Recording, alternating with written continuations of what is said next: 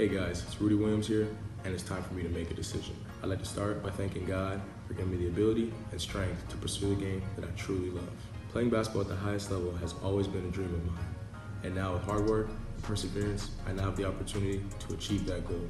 I'd like to thank all the people who have been a part of my journey along the way, all my friends, family, and coaches.